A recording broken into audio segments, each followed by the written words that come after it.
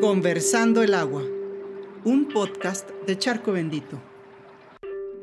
Hola, buenas tardes, bienvenidos de nuevo a nuestro podcast Conversando el agua, un espacio para difundir, compartir y educarnos sobre cultura ambiental, cultura del agua y cualquier tema relacionado con la preservación de nuestro planeta y nuestra vida en este, en este lugar.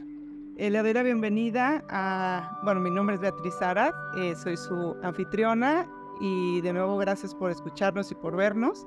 Eh, estamos muy emocionados y emocionadas de, de, recibir en este espacio el día de hoy, en este episodio, a dos colegas y compañeros, compañeras que, al igual que muchos de nosotros que estamos en, en, en Charco Bendito, somos apasionados de, de compartir y de, y de colaborar.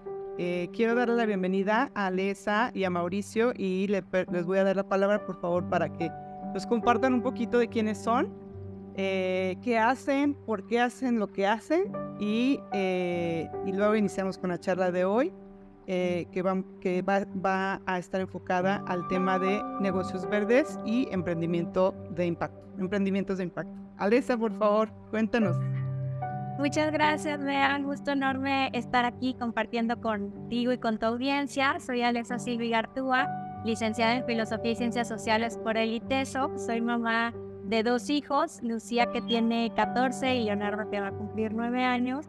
Y eso es lo primero que llegó a mi mente y a mi corazón cuando pensé, ¿por qué hago lo que hago? Eh, creo que tenemos una responsabilidad enorme con las futuras generaciones, con el cuidado de la vida. Eh, me apasiona el poder traducir idiomas, el poder estar en vinculación en proyectos gubernamentales, de eh, organizaciones de la sociedad civil organizada, eh, culturales, ambientales, y poder identificar que lo importante es la visión, lo que llamamos la utopía, hacia dónde queremos llegar y cómo cada uno eh, puede aportar con su talento y con su historia para poderlo lograr de una manera sostenible. Eh, eh, me encanta andar en bici, me encanta bailar eh, y, y, llevo varios años colaborando en el gobierno del estado de, Jalisco, primero desde la coordinación del gabinete económico y ahora desde la Secretaría de Desarrollo Económico. Gracias, Alisa. Muchísimas gracias. Mauricio, por favor, cuéntanos quién eres. Bueno, pues muchísimas gracias, Bea, un gusto estar acá. Perdón por las sirenas, justo están pasando en este momento, de, que estamos en vivo. Eh, bueno, este, también un gusto saludar a Nessa, con quien eh, hemos venido colaborando, y hablaremos más adelante eh, en qué y, este, qué se viene respecto a eso. me encanta que siempre son las mujeres las que movilizan estos temas, las que les ponen en la agenda, las que están logrando cambios. Ahí tenemos una asignatura pendiente de, desde nuestro lado que vamos tarde. Creo que eh, es momento también de empezar a escuchar eh, diferentes eh, liderazgos e incluso seguirlos. Entonces, desde ese punto, aquí agradecido por la invitación. ¿Yo a qué me dedico? Bueno, yo soy ingeniero civil por la Universidad Autónoma de Puebla. Después hice un posgrado en la UNAM, en la Nacional Autónoma de México. inicialmente, o mi idea al ingresar al posgrado era dedicarme al diseño estructural, riesgo sísmico. Y justo cuando entré, eh, ocurrió el huracán Vilma, si se acuerdan, que devastó eh, el sureste mexicano, Cancún, al poco tiempo Katrina en Estados Unidos, y eso eh, detonó unas investigaciones en las que yo pues llegué como, como becario. Creo que eso fue lo que, la primera parte de lo que cambió mi forma de percibir las ciudades y el desarrollo, porque ya no estábamos hablando de sismo, estamos hablando de algo que sí tiene que ver con nuestra acción directa, ¿no? Entonces, el, el equilibrio eh, este, ecológico y el cambio climático que hoy conocemos, ¿no? En este tiempo se le llamaba riesgo hidrometeorológico, una cosa casi que impronunciable. Eh, en dos, hace muchos años, 10 años de, de, mi carrera, trabajando como cualquier ingeniero, en proyectos, en obra, en diseño. Eh, en 2013 me encontraba en las Filipinas desarrollando unos proyectos del sector cementero y me tocó vivir el tifón Haiyan, pero ya vivirlo ahí, ¿no? Encerrado en un hotel, viendo cómo volaba todo, salir a la calle 24 horas después y ver que 10 millones de personas perdieron absolutamente todo en un país de 100 millones, es decir, eh, había devastación por todos lados. Y ahí fue donde empecé realmente a, a cuestionarme, el, oye, ¿será que sí nos estamos desarrollando como decimos? ¿Será que a lo que le llamamos progreso sí es progreso? Eh, cuando una empresa llega a algún sitio y construye y monta un proceso industrial, realmente está transformando este entorno de manera positiva o está haciendo completa la tarea. Y empezaron estos cuestionamientos, empecé a estudiar, empecé a meterme mucho en el tema y en 2015 decidí dedicarme a llevar la economía circular como mecanismo de la sustentabilidad eh, desde donde pudiera, como ingeniero a través de proyectos, como consultor a través de, este, de asistencias técnicas, como profesor eh, en la universidad, como emprendedor también lo he hecho, eh, generando modelos de negocio. Y bueno, eso es lo que me ha traído aquí. vivo en Colombia, soy mexicano, o pues poblano, no tengo hijos, este, pero sí creo que es súper importante que empecemos a priorizar a la siguiente generación. Y si ese no es nuestro foco, y si esa no es nuestra eh, inspiración, pues entonces creo que no, estamos haciendo lo que nos toca. Así de simple. Gracias, Mauricio. Pues ah, justo el, el, tema de hoy, pues comentábamos, tiene tela de mucho, para mucho cortar, ¿no? De, podemos aquí hablar horas eh, de este tema eh, sin embargo, nos gustaría enfocarnos a, una ruta muy interesante que están llevando a cabo, que es la, parte de negocios verdes y de emprendimientos de impacto. Pero antes de ello, cuéntanos, eh, Mauricio, ¿qué, ¿qué, diferencias hay o, qué o, o, cuáles son las áreas o las grandes categorías de emprendimientos eh, hemos escuchado de ESG, eh, eh, de, de, la parte ambiental o la parte verde y, la social, ¿no? Entonces, cuéntanos, estas son, cuáles otras hay y qué diferencias hay entre estas, así súper, súper general. Bueno, lo primero que puedo decir es que ojalá no existieran todas estas etiquetas, porque es como cuando dices voy a comer algo saludable. Se supone que todo lo que deberíamos de comer debería ser saludable, ¿no? Entonces, al decir hay empresas que sí hacen las cosas bien o que sí hacen las cosas ambientalmente responsables o que las socialmente, es como, oye, esto debería estar en el ADN de cualquier organización, sea un emprendimiento o sea una transnación, ¿no? Entonces, para empezar, yo sí tengo como, como un tema de cómo logramos que todas las empresas puedan ser sustentables. Y cuando hablamos de emprendimiento verde o de negocios verdes, pues estamos hablando de un gran énfasis en resolver temas que tienen que ver con la gestión ambiental. Por ejemplo, una empresa que nace va a sanear el agua, ¿no? De lo que otras empresas generan.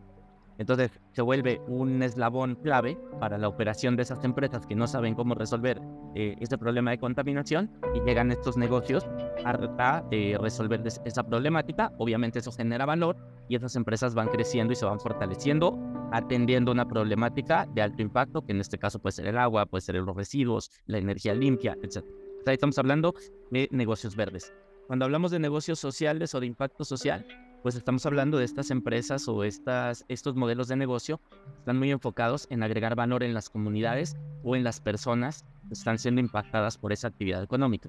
Entonces vemos desde las cooperativas, que se pueden volver una estructura súper eh, fuerte en un contexto determinado o en un territorio, estamos hablando de los pequeños productores que sin ser una cooperativa, con un negocio de comercio justo, se pueden ver eh, beneficiados, equilibrados en, el, en lo que ellos reciben por producir, a diferencia de como sucede en muchos casos que reciben un porcentaje muy pequeño y toda la cadena de intermediación se queda con los beneficios de ese trabajo, eh, etc. Entonces creo que ahí es donde empezamos a ver esto. Con el tema de ESG, que creo que ahora hay un debate fuerte a nivel corporativo de si es suficiente o no, bueno, es interesante ver cómo se han venido incorporando métricas, que estas métricas empiezan a tener impacto en la decisión de los accionistas, es decir, dónde quieren poner su dinero, en una empresa que cumple con indicadores de esto o en una empresa que solamente sabe hacer dinero a costa de impactos negativos. Entonces es muy positivo, pero la tarea todavía no está completa. No, no basta con que una empresa que tiene el músculo financiero eh, empiece a, a contarnos estas historias de éxito, lo cual es positivo, porque a veces lo que falta es que puedan salir más allá de sus fronteras, es decir, que no trabajen solo en lo que se conoce como su alcance uno o dos, ¿no? En términos de carbono, sino que puedan ir a su cadena de valor, a su cadena de proveeduría, donde todo eso bueno que están haciendo también se refleje en este productor pequeño que a veces tiene que dejar de venderles porque no puede cumplir con un estándar alto, porque pues no tiene el músculo para implementar o no tiene el conocimiento técnico eh, ni siquiera una persona especializada dentro de, dentro de la microempresa para que haga eh, esta gestión. Entonces me parece que sí tenemos que ser mucho más ambiciosos en este sentido.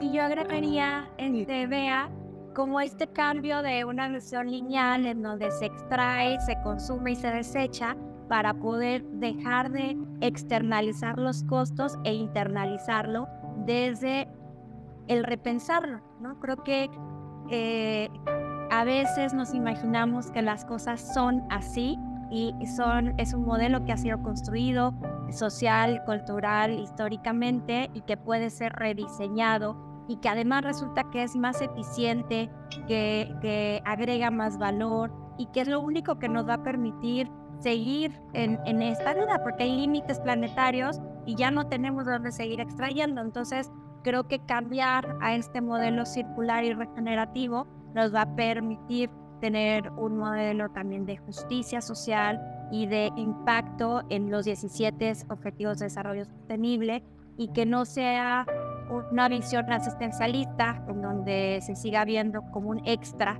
en donde dábamos despensas, en donde dábamos becas, en donde no se, se, se entendían las unidades económicas a los emprendimientos y a las empresas como parte no solo del problema, sino de la solución.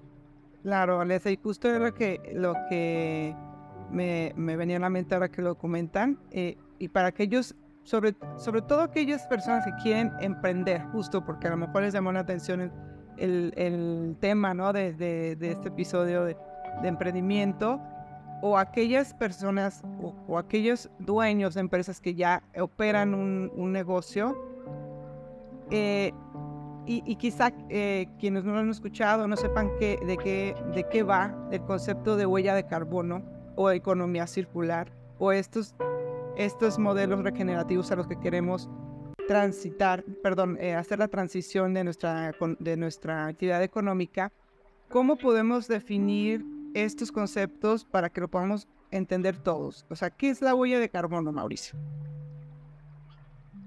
Bueno, eh, la huella de carbono, como bien lo dice, es esa, ese rastro que queda en el consumo de un producto o de, o de un servicio, ¿no? Porque no es solamente un producto. Pero pensemos en un producto que es más tangible.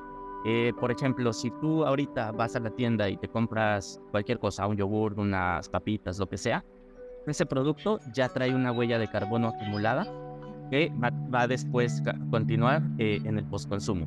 ¿De qué está compuesta esa, esa, huella? Cuando hablamos de huella de carbono, estamos hablando de las emisiones de gases de efecto invernadero traducidas en el lenguaje de, del dióxido de carbono equivalente, ¿no? Porque puede tener metano, puede haber otros gases eh, durante su proceso, desde la extracción de los materiales con los que está hecho la bolsa, viene de la petroquímica, no solamente de la papa que se cultivó y que después se, se, se, este, se puso en, este, en esta bolsita, es decir, todos los impactos que se vienen arrastrando. ¿no? Desde el proceso eh, prácticamente de extracción. Entonces tú vas sumando, eh, si en la fábrica se generan tantas emisiones y se producen un millón de bolsitas, bueno, pues que esa, esa bolsita tiene un porcentaje de ese montón de emisiones que se están arrastrando. Y después esa bolsita pues va de la fábrica al supermercado donde lo compraste, ¿no? Entonces eh, esa bolsita pues continúa con tu consumo. ¿no? A donde lo llevaste y después si se va a un tiradero en clave de basura. Entonces, cuando hablamos de análisis de ciclo de vida, es un tema o es, un, es, un, eh, es una herramienta súper poderosa. Primero porque podemos entender todo el proceso, toda la vida de ese producto, desde que no era nada, hasta que terminó siendo eh, residual. Podemos ver dónde hay áreas de oportunidad en términos de eh, este, ahorro de agua, eh, consumo eficiente de energía, reducción de emisiones, incluso temas sociales, ¿no? Donde a lo mejor se está utilizando una materia prima que está vulnerando los derechos de una comunidad, etcétera. Entonces, la huella de carbono, cuando tú la lees, lo que nos está diciendo es, pues, qué tan grande, entre más grande es más negativo, ¿no? Es decir, eh, ha contaminado más ese producto. Entonces, cuando tú llegas al supermercado y ves dos productos, los dos tienen su huella, pues es fácil porque ves cuál es más grande que la otra y decides qué comprar. Pero si hoy día un producto tiene una huella de carbono y no hay contra qué contrastarlo, pues el que diga que X kilos de CO2 por bolsita, pues no te dice nada, ¿no? Eh, es como cuando empezamos a contar calorías. Te puede decir tiene mil calorías, tiene 100 calorías. ¿Eso a mí qué? ¿no? Si no sé qué significa en términos de, de impacto sobre mi salud. Entonces, mientras no tengamos ese conocimiento, pues va a ser muy difícil aprender a leer esos ecoetiquetados. Eh, en el par existe la huella hídrica, que digamos es lo mismo, pero en términos de toda el agua que ha estado relacionada con la producción de ese producto, eh, o la huella ecológica, que ya es una medición un poco más robusta donde incorpora más variables, no, no solamente las emisiones o eh, los temas de agua. Entonces, digamos que es como el, la historia de ese producto en términos de impactos, ¿no? Y creo que lo más potente, ahora aprovechando que estamos hablando con una comunicadora, es hacerle entender a quien compra ese producto que se está volviendo corresponsable de esa huella. Claro, claro, y que eh, lo vamos a desarrollar un poquito más adelante. Antes, justo, nos gustaría eh, entender a qué se refiere los negocios verdes, qué significan los negocios verdes, qué significa un emprendimiento de impacto. Bueno, yo este, te comparto que son aquellos productos o servicios que resuelven una problemática en términos de energía, agua, residuos principalmente, y que actualmente están muy vinculados también a la trazabilidad por medio de la tecnología. Además, hay otras nuevas tecnologías este, en términos, por ejemplo, de la economía o, de nuevos... Eh, desarrollo de materiales, eh, en, toda la rama, que es lo que un poquito es este circulito que, que Mauricio nos, nos dibujó, eh, que nos permite reducir este impacto ambiental, eh, ya sea de carbono, hídrico o, de, o de, otros, de otros temas sociales, y, y que actualmente hay un gran potencial de financiamiento por algunas instituciones para poder desarrollarlo y también lo queremos ver como una gran oportunidad de negocio, de generación de empleos verdes y de generación de economía con otra mirada. Es transitar de el business as usual a dejar de consumir más o de producir más o de generar más PIB para hacerlo mejor. Eh, yo así lo resumiría, Mauricio. Y por ejemplo, cuando a, lo mejor para mucha ciudadanía el término del PIB suena mucho a las noticias, ¿no? O a la economía del país, una cosa así súper super densa. Este, pero el PIB, digo, en términos muy generales, pues es, digamos, el tamaño de, de la economía, ¿no? El tamaño de, de este año con respecto al anterior, cómo vamos creciendo. Cuando vemos el PIB de los últimos 50 años, nos vamos a dar cuenta que cada vez que sube el PIB, sube la degradación ambiental, ¿no? Entonces, entre más crecemos, la economía de hoy es mucho más grande que la de hace 20 o 30 años, somos más personas, porque tenemos más tecnología, porque producimos marchas forzadas, etc. Entonces, por cada eh, pedazo del PIB que sube, hay un impacto ambiental tremendo, ¿no? Asociado. O sea, e, eso es a lo que le llaman la economía acoplada. Entonces, una de las grandes, eh, no solamente metas, sino urgencias, es cómo logramos seguir creciendo porque somos más, porque somos 8 billones, mañana tenemos 9, eh, necesitamos comer, necesitamos trabajar, necesitamos generar dinero, pero sin que cada vez que crezcamos, pues esto impacte directamente el ambiente, sino que realmente podamos hacerlo de una manera incluso desacelerando esos impactos ambientales. Es decir, que consumamos mucho menos energía para emitir mucho menos emisiones, para generar mucho menos contaminación en el agua, etc. Ese es como el gran punto que nos tiene hoy eh, tomando decisiones de innovación, de desarrollar nuevos negocios. Y hace rato eh, Alex dijo una palabra que es fundamental, rediseño. ¿no? Entonces tenemos que empezar a rediseñar eh, no solo el producto o la bolsita, no solo el proceso productivo de cómo se va eh, eslabón por eslabón, sino también el estilo de vida.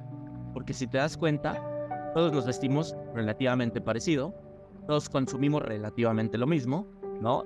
todos llenamos el refrigerador más o menos de lo mismo, para después tirar más o menos del mismo porcentaje de lo que no nos comimos.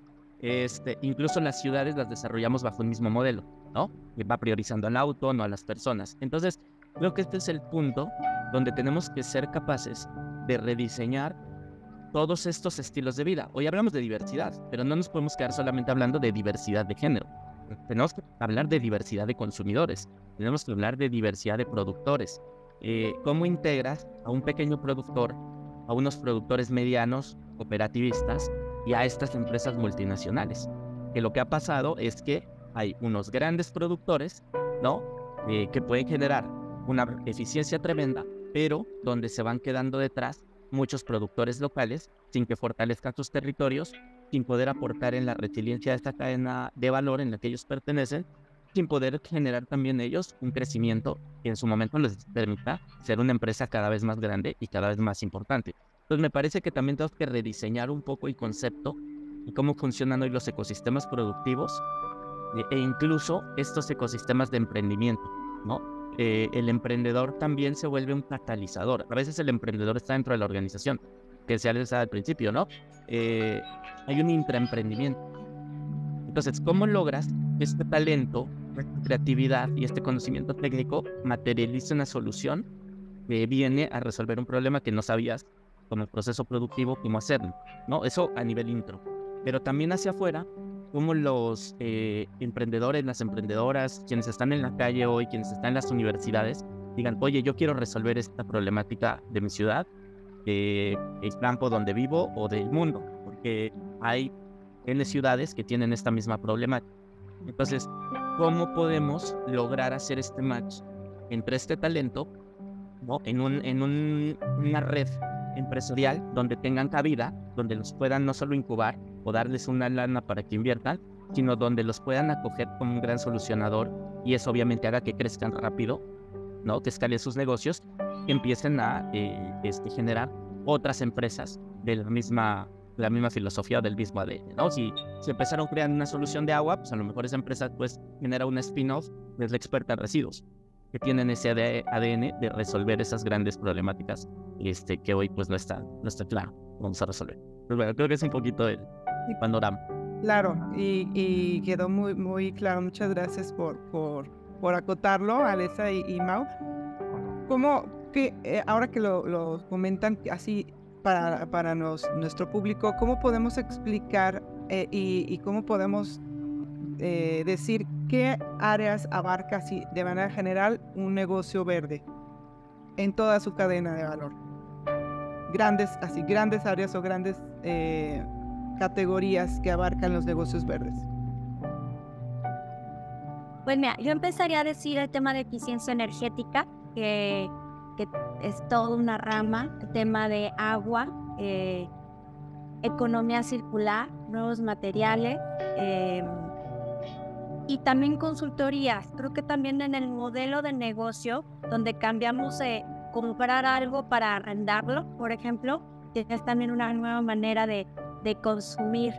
Y, creo que eh, hay un gran potencial, vea, en, términos económicos, tanto de inversión eh, extranjera directa, como en temas de infraestructura, este, como en temas de ropa. Por ejemplo, cómo dejamos de consumir el fast fashion y, a través de un modelo de negocio innovador estamos pagando una renta, pero me lo están cambiando y entonces inhibo a que llegue ese residuo a, o sea, ya no es un residuo, sino que se reinserta en la economía.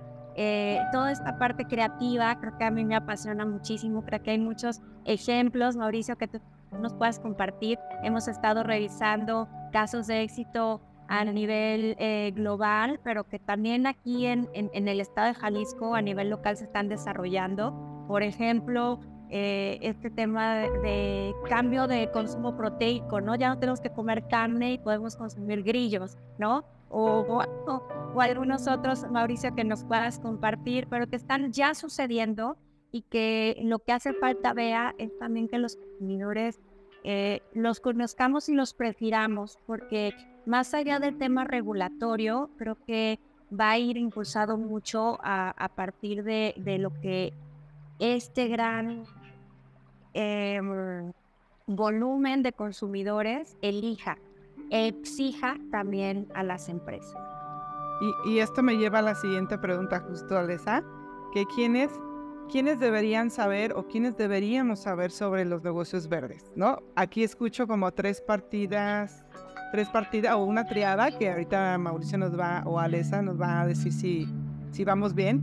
Eh, una es el, o sea, el productor, tal cual el dueño de la empresa o de las grandes empresas o de las grandes industrias, el emprendedor o sea, una persona que tiene un emprendimiento y que lo puede enfocar a resolver una problemática y que hay una oportunidad de negocio, y el consumidor.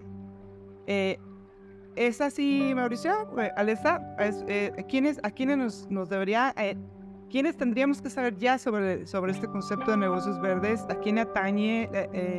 ¿A quién le tendría que importar?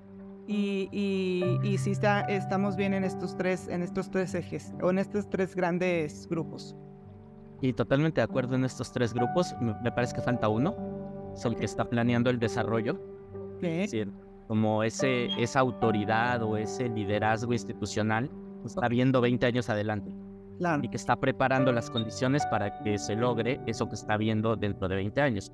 Porque ahí es que surgen los planes de ordenamiento, las políticas públicas, las normativas, eh, que llega también la influencia de afuera, ¿no? donde hay otras regulaciones o normativas que permean a los sectores productivos en tu, en tu territorio, como pueden ser las normas ISO, e, etcétera. Entonces, lo, primero sería complementar este, este cuarto elemento, que es fundamental.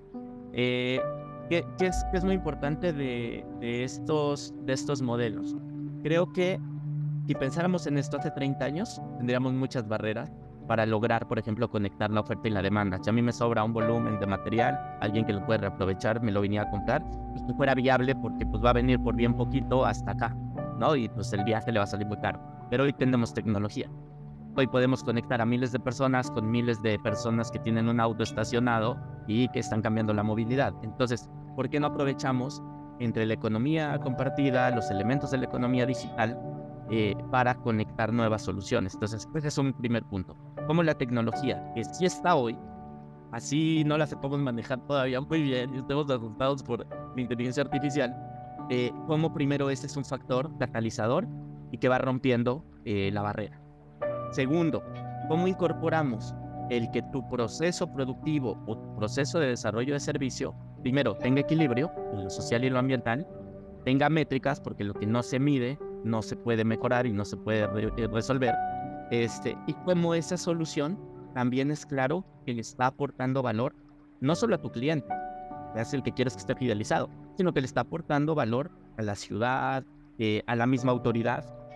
No, si la autoridad gracias a tu modelo de negocio, va a dejar de gastar parte de su presupuesto en rellenos sanitarios, que técnicamente es poner el dinero en la basura, pues creo que le va a interesar, ¿no? Apoyarte porque dice, bueno, pues yo de mi presupuesto, 50% de lo que me gasto en el relleno, pues ya, ya, no, ya no lo voy a poner ahí, ya no voy a tener que salir a buscar otro lugar para poner la basura en 10 años, a lo mejor en 20, ¿cierto? O a lo mejor ya nunca más si eliminamos los rellenos sanitarios. Entonces, ¿cómo conectamos esos valores agregados tanto en el producto y servicio como los valores compartidos con eh, los diferentes grupos este, que mencionaste, ¿no?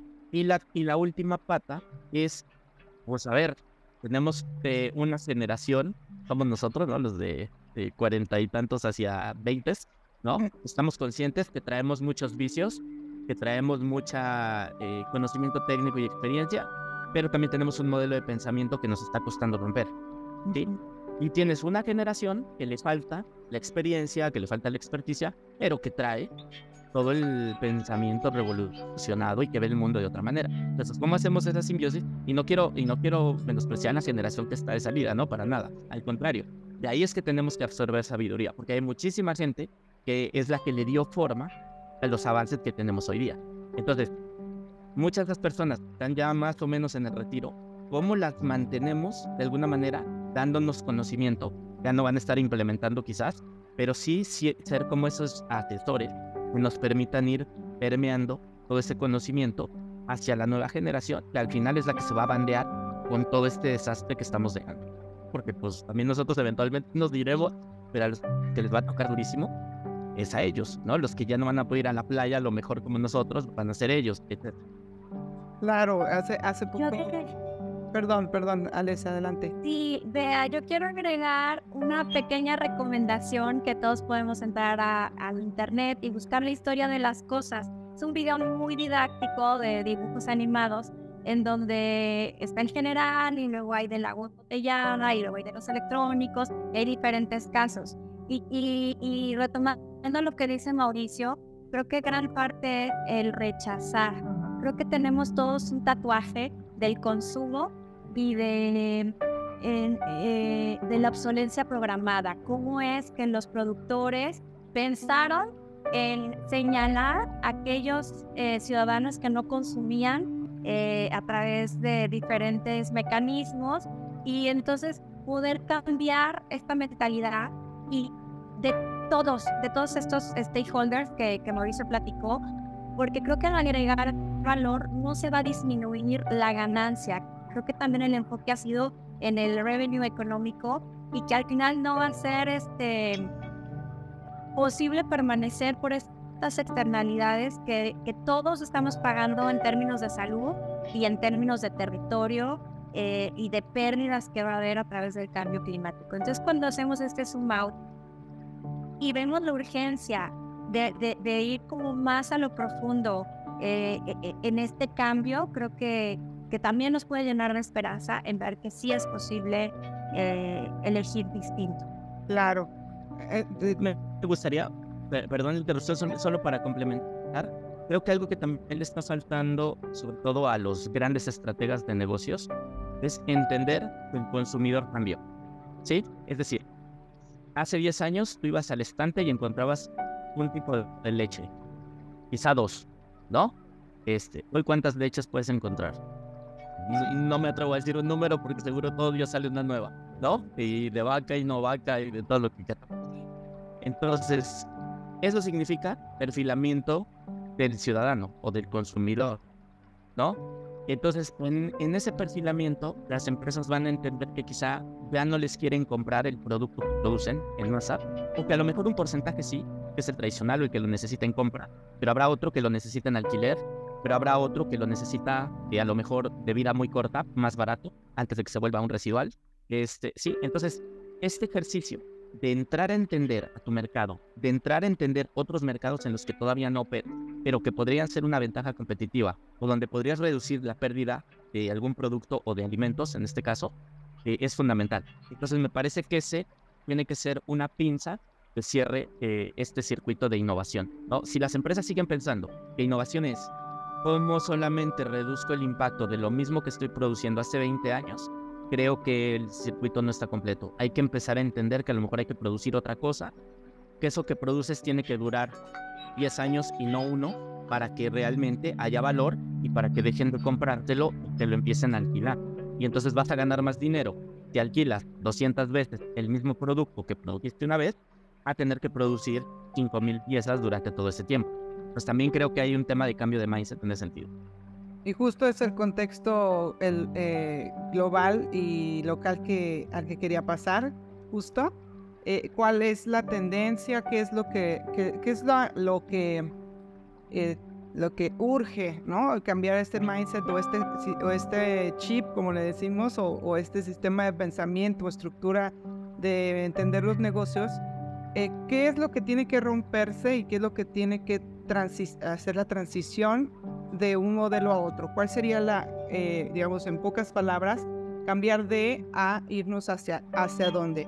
Porque, bueno, hace poco escuchaba eh, que justo nuestro planeta hace unas semanas llegó a su límite de recursos, o sea, ya no podemos más, ya estamos en número, digo, si ya lo sabíamos, ya científicamente que estamos en números rojos, ya no es, ya no es sostenible nuestra existencia en este planeta, estamos en números rojos, eh, y cómo es que podemos revertirlo o cómo es que podemos eh, desacelerar este, esta voracidad, digamos, que, que ha producido nuestros esquemas de, de financieros, perdón, de modelos de negocio y financieros, eh, y, hacia dónde tendríamos que hacer la transición, eh, Mauricio Alesa, en, en, cómo hacemos las cosas y cuál sería ese contexto global al que tendríamos que, o nos invitarían, si es que no ha quedado claro, a dónde tendríamos que ir para, para, para dos cosas, para seguir sosteniendo este, es, los recursos y dos, para hacer eh, también,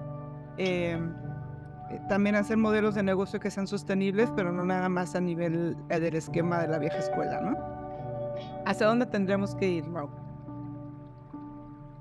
Pues bueno, yo creo que el, factor determinante está en que como seres humanos, aquí la, la filósofa nos corregirá si me equivoco, es que nos cuesta mucho trabajo romper nuestra zona de confort. Pero es un inversionista que ha invertido toda su vida de una manera, o una empresa que lleva 20 años haciendo eso, pues no se quiere mover de ahí. Un consumidor que a lo mejor tiene ahora que asumir un rol más proactivo, una corresponsabilidad, dice, pues a mí no me molestes.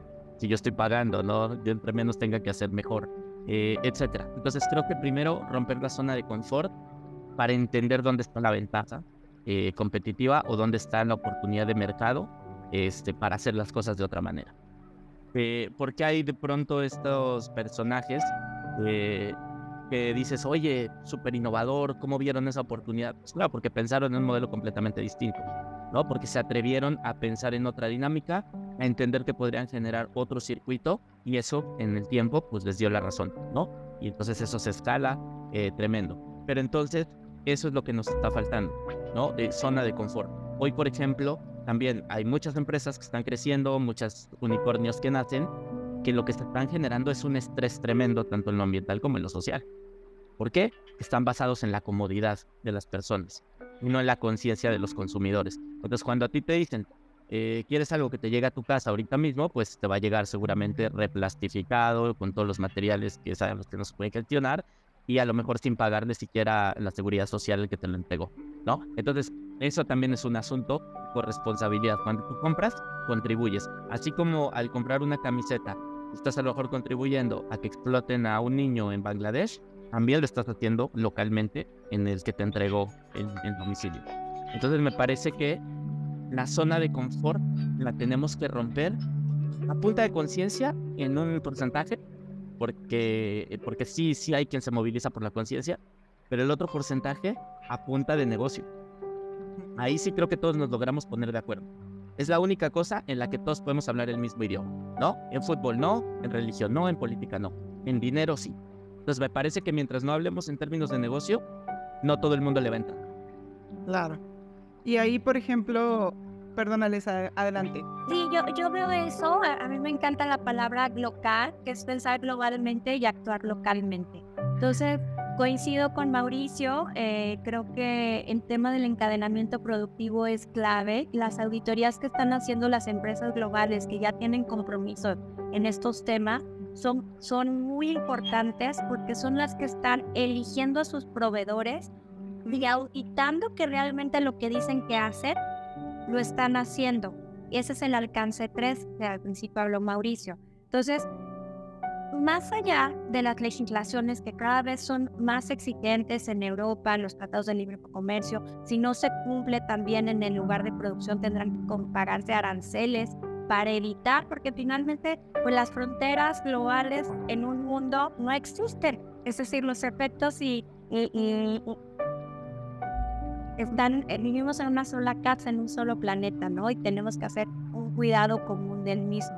Eh, eh, en ese sentido, creo que es bien importante empezar en el cómo sí vea, porque a veces nos desanimamos, ¿no? A veces tenemos tantos mensajes apocalípticos y catastróficos que vamos muy tarde, entonces pues ya ni, ni para qué me esfuerzo, ¿no?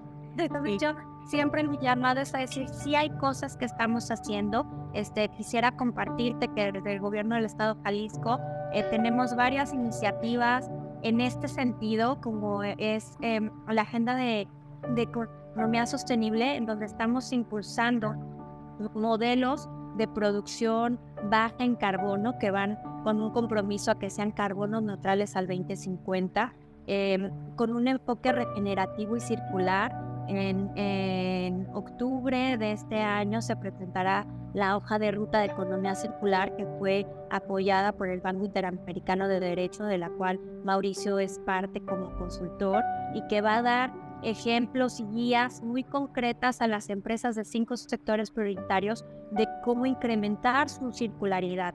Eh, también tenemos la Alianza Empresarial por el Clima, que es este modelo muy innovador en donde ya 95 empresas están adheridas y comprometidas a eh, hacer su inventario de emisiones, alcance 1, 2, eh, y a hacer su eh, ruta hacia la carbono neutralidad al 2050 y 34 cámaras de asociaciones. Entonces ahí es un modelo bien rico porque está el sector productivo, está el gobierno, están organizaciones de la sociedad civil, todos con una visión en común. también tenemos un directorio de proveeduría verde en donde acercamos a estas empresas que ya están comprometidas, eh, pues el remedio y el trapito, ¿no? Este, ya sé que quiero eso, pero ¿cómo lo hago? Eh, también eh, la Secretaría de Innovación, Ciencia y Tecnología, a través de sus convocatorias de Cuetsijar, tiene programas para los emprendedores que tengan soluciones este, ambientales o sociales y que puedan hacer un spin-off o, desde la ideación, eh, poderlos ir acompañando para que estos modelos crezcan.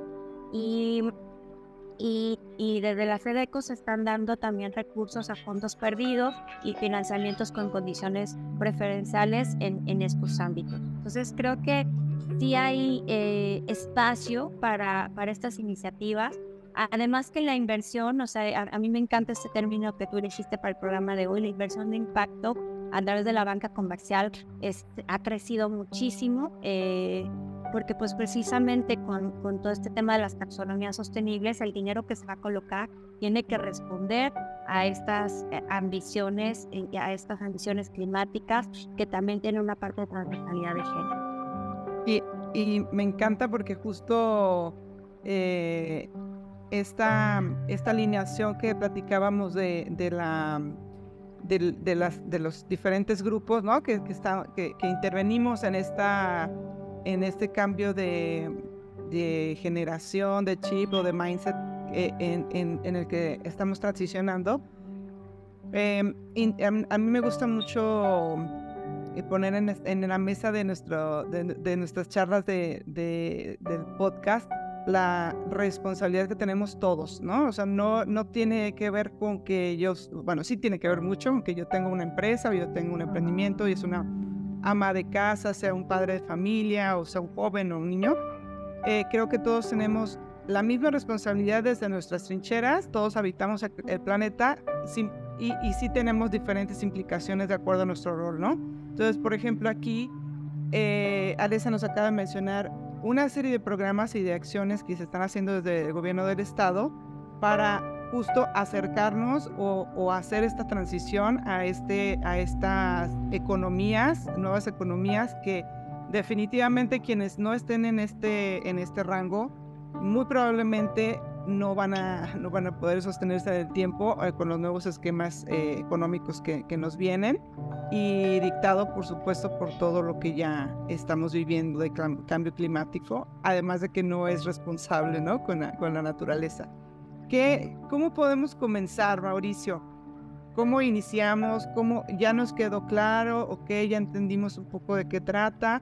Ya nos dijo Alesa qué estamos haciendo o qué recursos podemos tener o qué herramientas podemos tener desde el gobierno del Estado. ¿Qué otras herramientas o cómo podemos empezar a, enfocar nuestros esfuerzos en estas economías en nuestros, y en estos eh, negocios verdes? Bueno, creo que el camino e-, es, eh, innovación, innovación e innovación en todos los niveles, no entendida solo como tecnológica y de gran inversión, sino empezar a hacer innovación desde el entendimiento del cliente, desde la oportunidad de proceso productivo, en términos de reducir impactos o de mejorar desempeños, eh, desde si mi producto eh, se está volviendo un residuo, que después es un problema, cómo lo puedo a lo mejor retornar para que eso se vuelva valor y no se pierda este, todo el valor inyectado previamente, eh, cómo puedo perfilar diferentes este, usuarios o, consumidoras y consumidores de mi producto de acuerdo a las necesidades que pueden estar eh, teniendo. Te pongo un ejemplo así clarísimo que nadie ha resuelto. ¿Por qué los hoteles te hacen el check-in a las 3 de la tarde y te corren a las 12 del día? No hay un hotel que te reciba a la hora que llegues y a las 24 horas te tengas que salir. Entonces llegas a las 9 de la mañana de un vuelo y te tienes que hasta las 3 de la tarde cuando volaste toda la noche. Pero no hay un solo hotel que hoy te permita hacer esto, no. Entonces, ese tipo de cosas. ¿Por qué no hay eh, instrumentos o modelos de mercado que te permitan jugar con toda esta serie de, de diferentes necesidades de consumidores? Ahora, a mí me parece eh, fundamental lo que mencionaba Lesa en términos de un llamado institucional, por un lado, con todos estos eh, esfuerzos que se están haciendo en, la parte este, de carbono, en la parte de economía circular, en Río Santiago es otro eje súper eh, estratégico del tema hídrico, etc. Entonces, ese es el llamado y digamos que hay una responsabilidad de cumplimiento, pero es que el gobierno no puede meterse a las empresas a hacer las cosas. Necesitamos implementadores y ahí entran desde los dueños de los procesos productivos que tienen que ir implementando soluciones, emprendedores y emprendedoras que están hoy desarrollando ideas y están desarrollando modelos escalables, cámara, fundamental, los líderes de cámara, donde dicen todo el sector va para allá, a partir de ahorita y para 2040 o para 2035. Entonces creo que, la riqueza este, de estos instrumentos que se están desarrollando y que ya muchos de ellos se vienen implementando, es que si tú estás del lado del implementador como empresario o empresaria, pues ya tienes unas guías de por dónde arrancar, ¿no? O por lo menos qué metas te tienes que aproximar, cuáles son los tiempos, cuáles son las líneas de trabajo clave. Y entonces sí, seguramente vas a necesitar un apoyo técnico para poder implementar los proyectos específicos, ¿no? De quiero crear esta tecnología, quiero eh, generar energía limpia, quiero aprovechar esta biomasa que me sobra, e, etc. Y eso tendrá que, si no tienes las capacidades como organización, pues tendrás que recurrir a un, a, un grupo de especialistas pues que te ayuden a implementarlo, pero eso es, es, lo que hemos hecho toda la vida. Pues eso no es nuevo, ¿no? Si antes te cambiaban la máquina, pues tenías unos técnicos que te instalaron el nuevo proceso productivo y, y te resolvieran. Entonces, me parece que estos instrumentos, como, como cámaras, como empresarios y empresarios, están dando ya la ruta de por dónde hay que empezar a tomar decisiones, ¿no?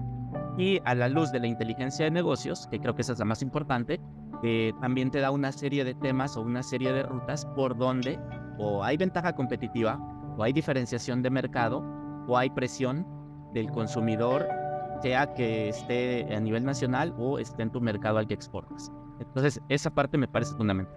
Y creo que por ahí es que hay que empezar, ¿no? Innovación, innovación, innovación. Y una... Continuaría, Bea, con el tema del el salario emocional, el talento humano que trabaja en las empresas todos, así como todos somos consumidores, todos somos también colaboradores de alguna empresa, ya seamos servidores públicos o seamos trabajadores o seamos eh, autoempleados o, emprendedores.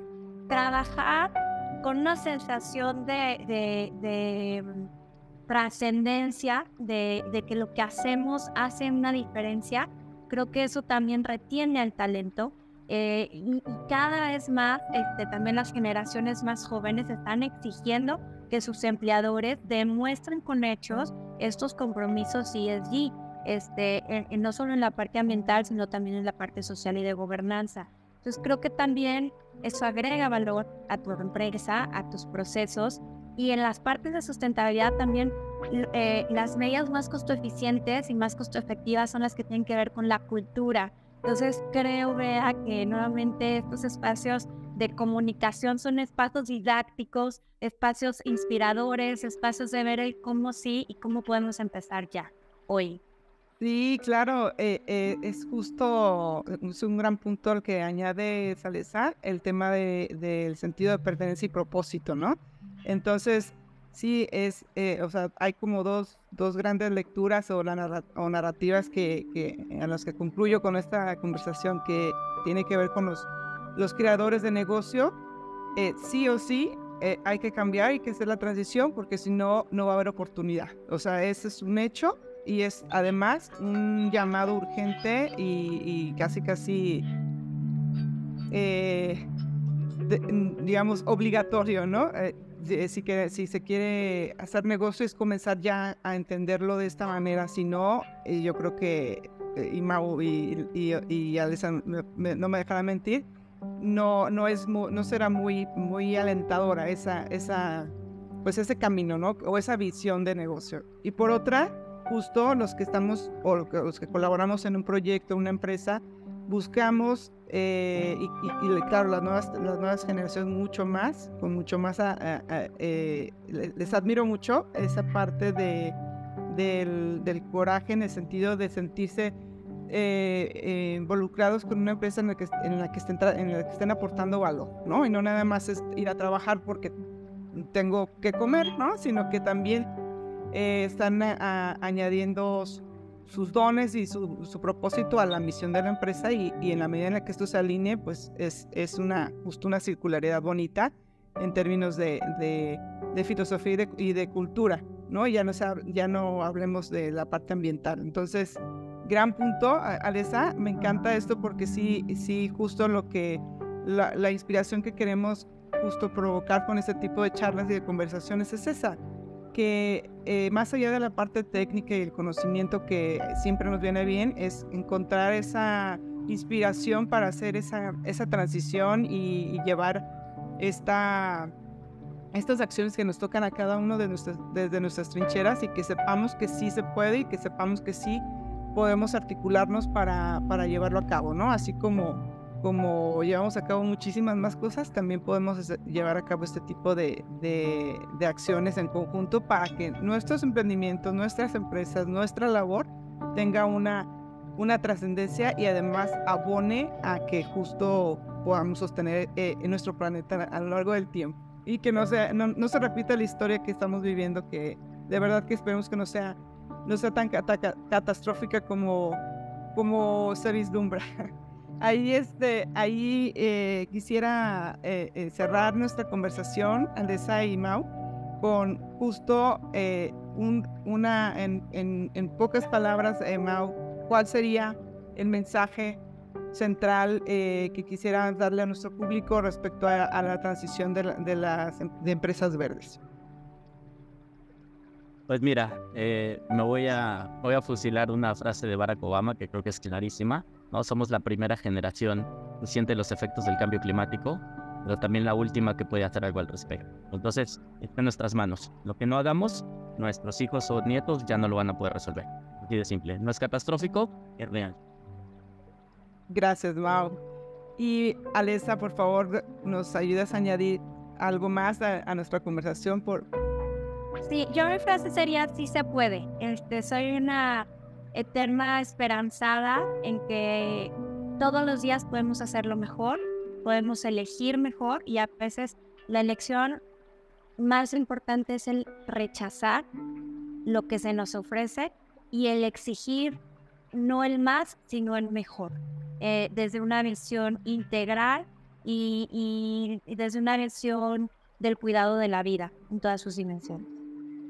Gracias. Pues nos encantaría, por favor, si nos permiten, eh, justo eh, nos regalan sus, eh, dónde podemos encontrar un poco más de información, eh, Alesa, donde alguien que nos escuchó y, de quedó la espinita y quiere entender un poco más y quieren y lo que y lo que sea lo, lo, mejor, que quiere tomar acción para que para que hagamos esta transición, a dónde podemos acudir desde el gobierno del estado, pero también eh, qué, otras instancias o qué otras herramientas podemos recurrir eh, y podemos eh, tomar en cuenta para tomar, tomar este llamado y, tomar la acción.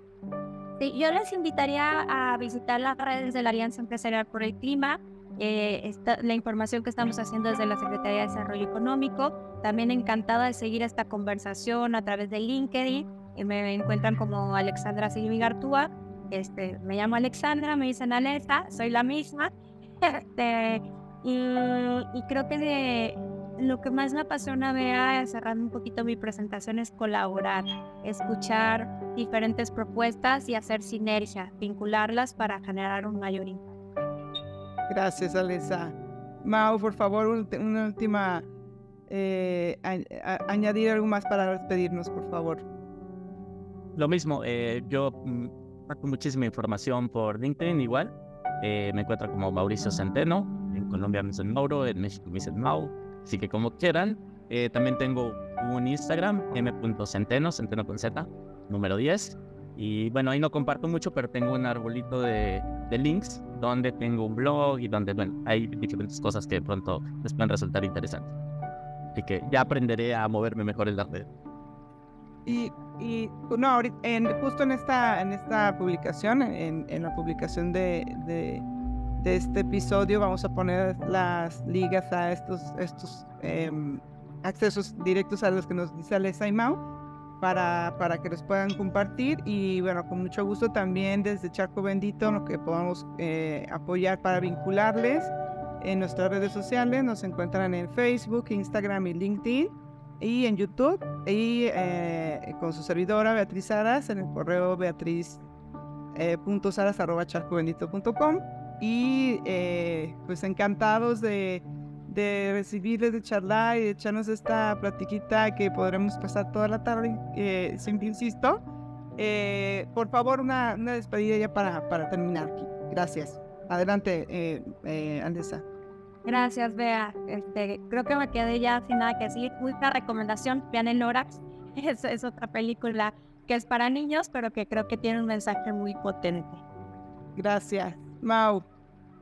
Bueno, pues muchísimas gracias por el espacio. Eh, esto no es de expertos, esto es de ciudadanía hablando de esto, poniéndose en, en común acuerdo de todos estos temas. Y aunque suene fuerte, la economía circular y la sustentabilidad no es Chaira ni Sisi, es de todos. Muchas gracias, pues de nuevo agradecerles eh, estar con nosotros en este, en este episodio. Nos vemos en la siguiente. Bonita tarde para todos. Chao, chao. Adiós. Estamos en contacto. Gracias.